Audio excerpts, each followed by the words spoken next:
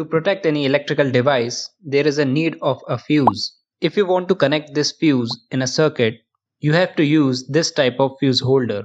You can see there is a cover above the fuse holder. When you remove this cover, your circuit will break. If your fuse has blown, then you can remove this fuse and can change the fuse easily. After this, close the cover and your circuit gets back to normal.